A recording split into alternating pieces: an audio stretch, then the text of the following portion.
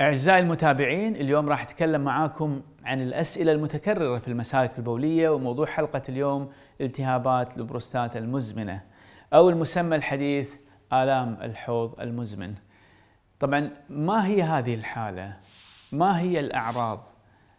ما هي وسائل التشخيص وما هي وسائل العلاج وأخيرا ما مستقبل الحالة؟ هذه أكثر الأسئلة التي نسأل عنها حالة التهاب البروستات المزمن هي عبارة عن حالة يشعر فيها المريض بآلام متكررة على الأقل ثلاث شهور وفوق في الأماكن الجنسية المهمة من ضمنها العضو الذكري الخصيتين أو في البطن في أسفل البطن أو أسفل الظهر وممكن ينتقل الألم إلى الرجلين والقدمين وممكن يصعد إلى أعلى البطن من ناحية الظهر.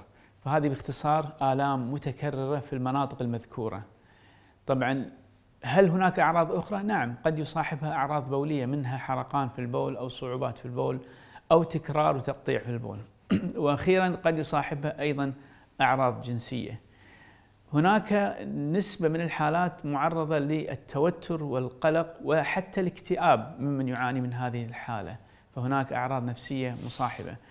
وأخيرا هناك أعراض عضلية. فالشخص الذي يعاني من الحالة هذه قد يعاني من صعوبة في أنه يجلس على المنطقة التي فيها الألم بسبب تهيج المكان.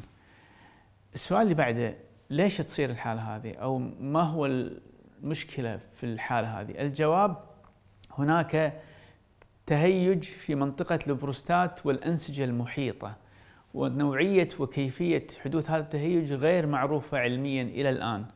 فطبعا جزء بسيط منها هو التهابات بكتيرية بنسبة 10% من الحالات. أما نسبة 90% من الحالات لا يوجد بكتيريا في البروستات. طبعا كيف نشخص البكتيريا؟ نقوم بإجراء تحليل البول أو تحليل إفراز البروستات أو تحليل السائل المنوي للتأكد من عدم وجود بكتيريا في السائل المنوي.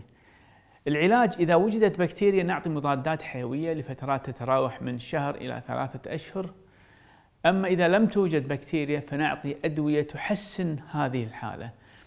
ليس هناك دواء واحد متفق عليه لعلاج الحالة هذه. فممكن نستخدم أدوية البروستات وممكن نستخدم بعض أدوية الأعشاب وممكن نستخدم بعض المسكنات ومضادات الالتهابات وأيضا حتى ممكن نستخدم بعض الأدوية النفسية لأنها تعمل على أعصاب الحوض ومنطقة البروستات. مستقبل الحالة المهم أنك تعرف يا أخي إذا تعرضت للحالة أنها آمنة ليست خطيرة لا تؤدي إلى سرطان أو أورام ولكن عيبها أنها مزعجة فمحتاجة إلى تأقلم وصبر وفهم دقيق للحالة هذه وأيضا محتاجة للمتابعة. ونتمنى السلامة للجميع.